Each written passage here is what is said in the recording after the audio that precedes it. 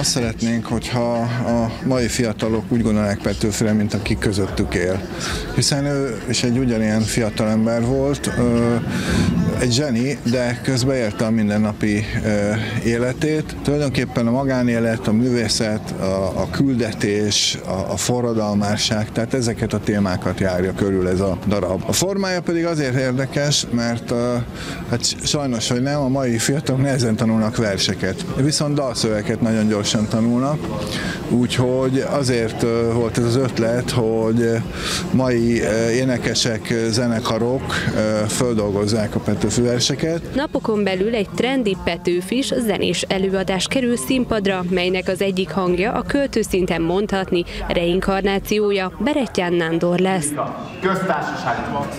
Egy fogadóban lette meg, rohanta meg a hír, szívemet, lelkemet A fiatal színművész számára nem új keletű Petőfi szerepe, hiszen már a jövőre debütáló Most vagy Csóa című filmben is a költő óriás bőrébe bújhatott. Hogy rabok tovább.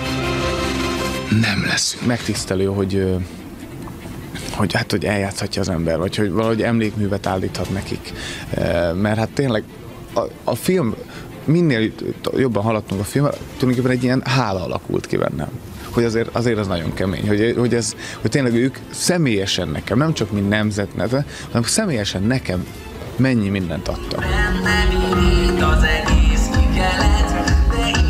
zenés darabban többek között az is kiderül, hogy a költő a szerelembe, vagy éppen a szabadságba volt-e szerelmes.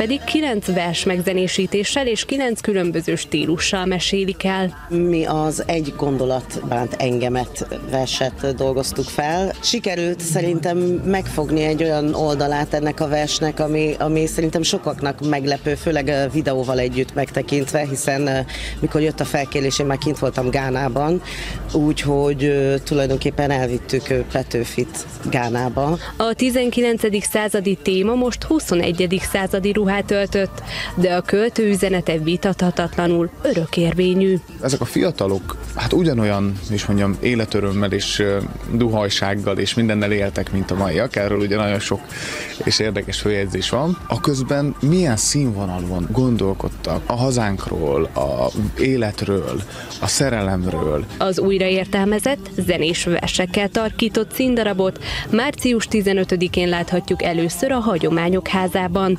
úgyhogy nincs más hátra. Mindenkinek javaslom, hogy nézze meg ezt az előadást, és találkozom Petőfiel élőben.